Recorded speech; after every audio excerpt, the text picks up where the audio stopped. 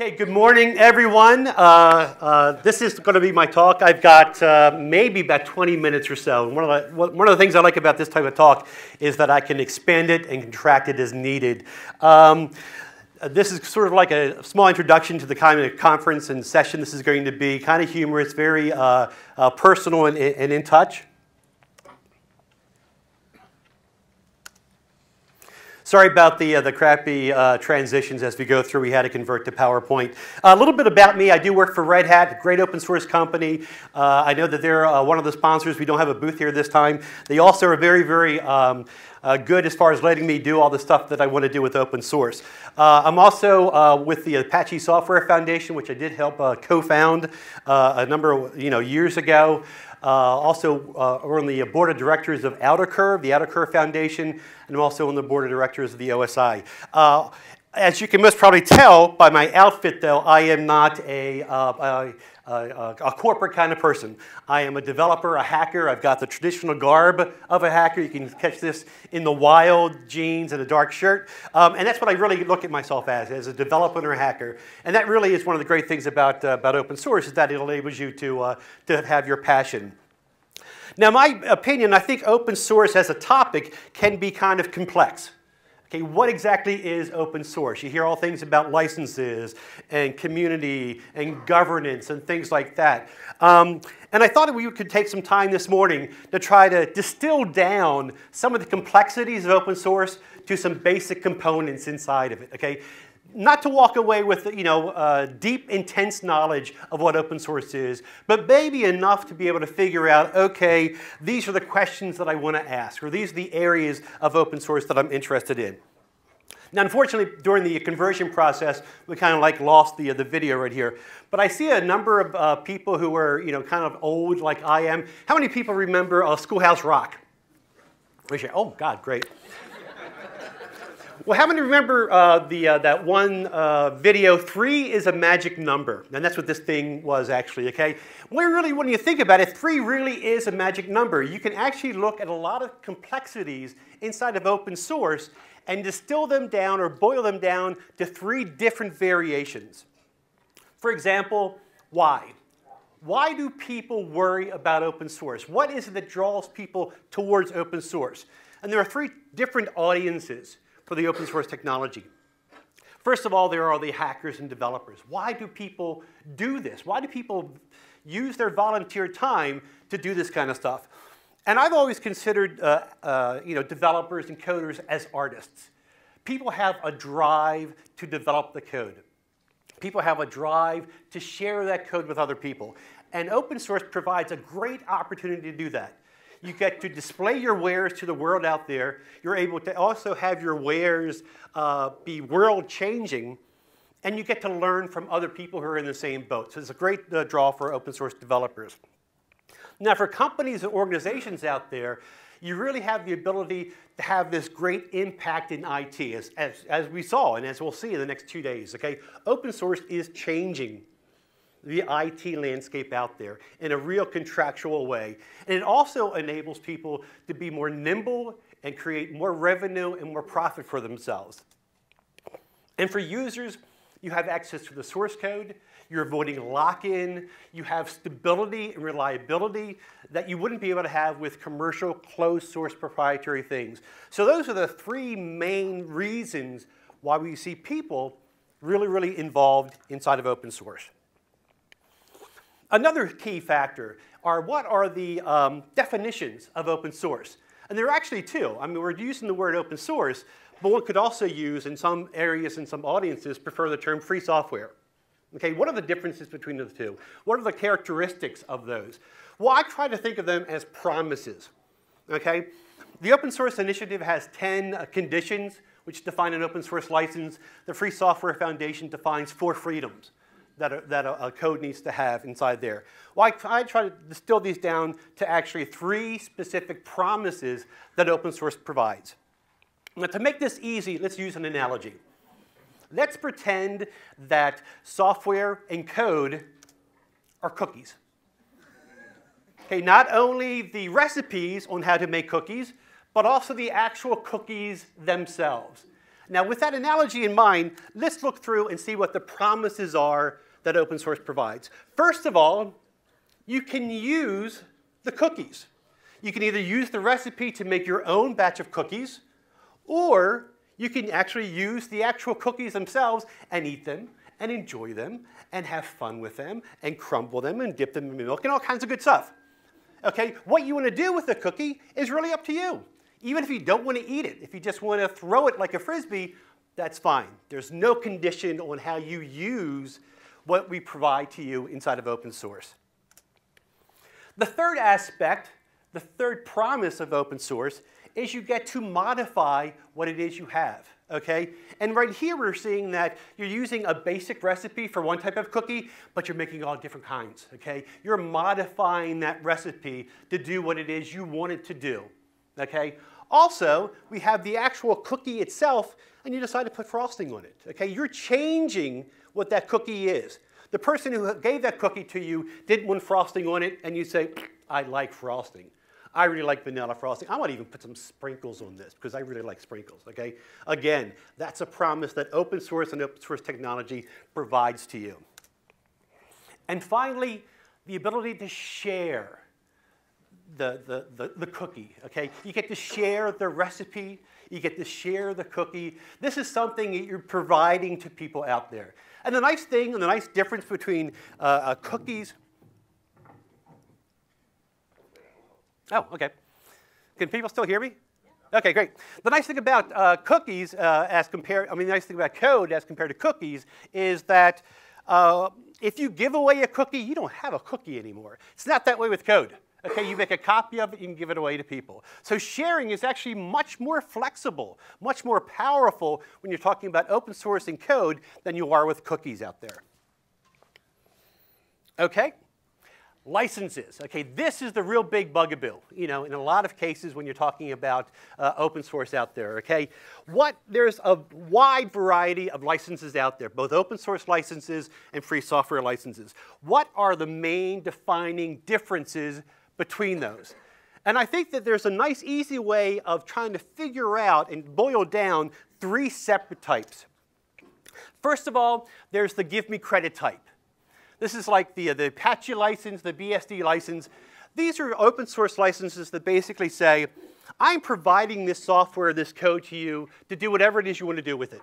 You just can't call it your own. You have to give us credit, okay? That's the only thing we want in return is some recognition for what we've done. But as far as you know, how it uh, impacts your, your software, your code, your business model, it's really up to you. We provide it free to you.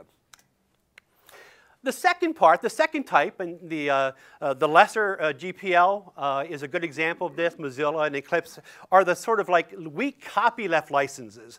And these are the give me fixes type.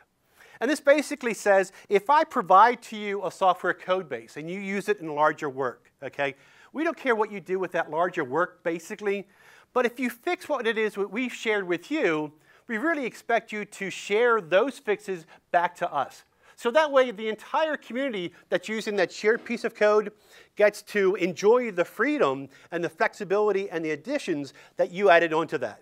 But we don't make any conditions or any worries about what you do on the larger side of the work. And this is a really nice uh, way of, of, of ensuring that the actual code that you're sharing is always maintained, that you always get fixes back, that a community is involved and focused on the development and the working of that particular code base. And finally, there is, uh, for lack of a better name, and because it fits in nicely with the whole theme, the sort of like, give me everything like codes. And this is what I consider a strong copyleft code. Now, I know Bradley Kuhn is here. He'll most probably have issues with that. And I really encourage you to go to, to his, uh, to his talk. But the idea between, behind these kind of uh, uh, uh software licenses, uh, the GPL, the you know, general public license, is a prime example of this, is that we are providing to you software which is free, okay? And that freedom is very, very important to us, okay? We want to ensure that if you're using that free software inside of anything else, inside of a larger work, that because you're depending on free software, we expect your overarching reach uh, software to be free as well, just as free as what we're sharing with you. And that's only fair. Okay, if your software is depending on this, then the rest of, you know, we need to ensure that the entire product is, is free as well. So looking at licenses in this way, it's important to remember that a license is a tool. Okay, a license is designed by you, the developer, on how you want to share that code. Okay, I run into too many people who say this is the best license in all times, and it's not, certainly not the case. Okay, think about how you want to uh, share your code. Think what kind of audience you're looking towards, and pick the right code, the right software license for the right code and for the audience you're looking out there for. Finally, the idea about community and, and, governance. Okay, what are the aspects associated with those? What are the three main types of, of, of governance models associated out there? First of all, there is the, uh, what I call the walled garden variety. And these are our open source projects, which, at least in my opinion, are open source in name only because they provide the code under an open source license, but it's impossible for you, the volunteer developer, to get involved because it's controlled by a corporation. It's controlled by uh, some kind of you know, external entity who want final and absolute control on the direction and the focus and the feature set of that software code base. They provided an open source license, but the, the governance, the community itself is not open. Okay, uh, and we won't go through examples of this. I'm sure you can pick of you know many many uh, you know possibilities and uh, you know, versions of, uh, of this type of a walled garden environment.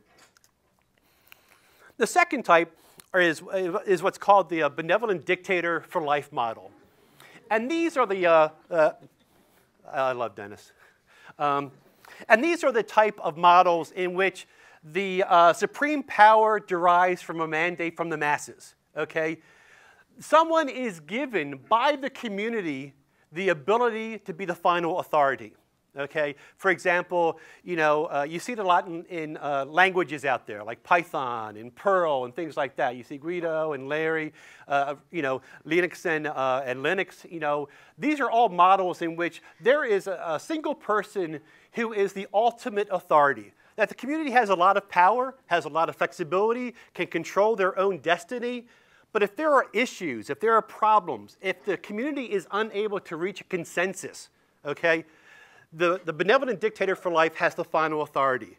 And the community knows that they can rely on that person, that they have a fallback position by this person out there. The final model is what's called tr true meritocracy. And the Apache Software Foundation actually runs under this model right here, in which there is no leader, there is no core developer, there is no one person more important than everybody else. We're all even peers. They're all even peers out there. The idea is that to make sure that the community itself is healthy, you have to force the community to work together. Okay, so these are pure, 100% peer-based uh, mechanisms out there that allow the community to grow and thrive by ensuring the community always grows. And finally, we'll talk about some aspects about community building itself, okay? And what are three main ways uh, that you, as an open source developer, as someone involved in an open source community, can help ensure the growth and the continued viability of that community. Okay? First of all, use email lists. Now, you don't have to necessarily use email lists, but the idea behind it is don't disenfranchise any potential developers out there. Okay, why are email lists great? Well, first of all, they're archived. So if I go away from a project for like three, six months or so, I can go back, check on the email list, and find out what happened, you know, assuming all the development is done on the email list. So even if I go away, it's very easy for me to come back. Also, email lists are asynchronous, okay? If I live several time zones away, I don't feel disenfranchised because everybody else is on IRC at the same time, discussing things, making design decisions and stuff like that it happens with the ebb and flow. It's much more conducive to a widespread, uh, you know, geographically diverse community out there, okay? And the other thing is that it's sort of like the lowest common denominator, you know, inside of uh, communication matters out there. Sure, wikis are great, IRC is great and stuff like that, but the sort of like, you know, asynchronous archive communication process that mailing lists provide is very, very important. It's very, very crucial. Again, don't disenfranchise anyone because you never know when the core team of developers who are currently operating or developing a software code base will go away. and you want to make sure that you always have that fresh blood available. Uh, secondly, drive consensus, okay? Make sure that every person's voice is heard, okay? This includes increasing diversity inside of communities, making sure that people are, are, are, are, you know, feel driven and empowered to be able to be parts of those community. But also it's important to be respectful inside of these mailing lists and discussions, okay? Make sure that a community uh, works through issues and don't let them fester. Okay, this is, can be a very, very hard thing for community to do, is to work through these design issues. That's the reason why, at least in my opinion, the, um, the benevolent dictator for life, you know, scenarios, um, you know, are, are good. You know, they certainly have validity out there, but I think one, but the problem is that they always know there's a fallback position. And I think it's too easy for a lazy community to overuse that sort of fallback position, okay? Luckily, we're not seeing that in, in the communities out there which do that, but it is something to, uh, to consider and worry about. And finally, avoid the idea, the concept of poisonous people, okay? And, and there are a number of, of great um, you know, YouTube videos about this.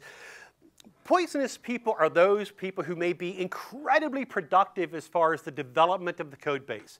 May be incredible developers or uh, document uh, uh, writers or things like that, but just drive a wedge within that community, okay? Now, you know, in much more, um, you know, corporate type environments, poisonous people may be a necessary evil, okay? Yeah, this guy is, or this girl is a real pain, but they're productive. We can segregate them away someplace and, and we'll make do. In an open source community, when the community itself is poisoned, that poison grows, okay? And it affects the entire community out there. So it's really, really important to um, avoid poisonous people, be aware of that, and try to mentor people out there. Now, certainly, this has been a very, very quick summary uh, of you know, different methodologies of open source.